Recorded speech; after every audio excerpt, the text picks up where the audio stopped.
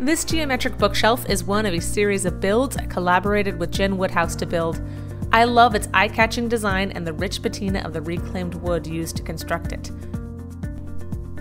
Want to build one? You can find the plans at jenwoodhouse.com and a step by step tutorial at thecreatedhome.com. Here's a brief look at what it takes to put this bookshelf together. The shelf can be made by cutting fresh lumber to dimension or by milling reclaimed wood. For this project, I used reclaimed Douglas fir barn boards. It's a messy job, and I added a level of difficulty by deciding to retain the natural warm patina the boards had accumulated over the past century. So for every side that I ripped, I reapplied a piece of veneer. Each board ended up with two original sides and two fresh edges in need of veneer. Now, just to make something clear, I'm thrilled with how the shelf turned out. And this was an extremely time consuming and messy business that resulted in me questioning my sanity more than once. But after a good sanding, when the edges came together smoothly and the dust settled, well, there you have it. After veneering, I cut the miters at the end of all of the pieces, being sure to lay out the design so I didn't mix up any miter directions. Then I cut the half laps on the table saw, fitting each joint individually so they would be good and snug.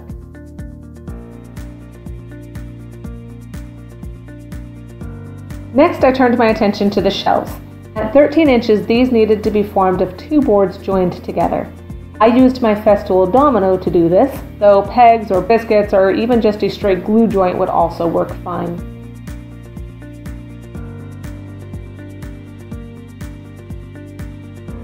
After the two boards were joined, I ran them back through the table saw to cut them to final width. The shelves are notched around the structure's main supports, and I chose to cut those notches on the table saw as well. I then laid out positions for the notches on the legs. Placing the legs side by side ensures that the shelves will set level, which is particularly important as those shelves do fit very snugly.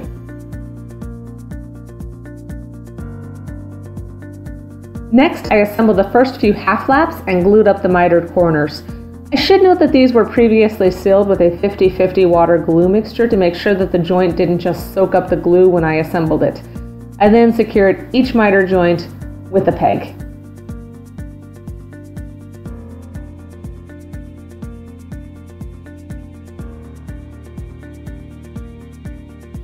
Assembly was a tricky bit of work given the size of the shelf and the tight fitting joints. I used pipe clamps to pull it all together.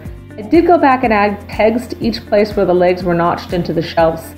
I then assembled the rest of the legs a couple at a time, gluing and clamping as I went.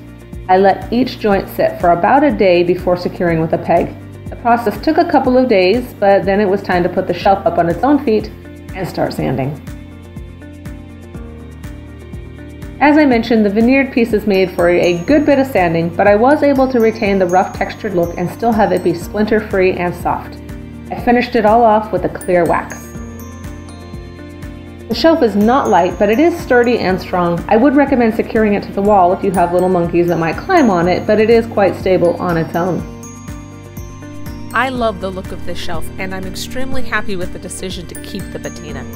Be sure to pick up the plans at jenwoodhouse.com and check out my site, thecreatedhome.com, for more pointers on the build process.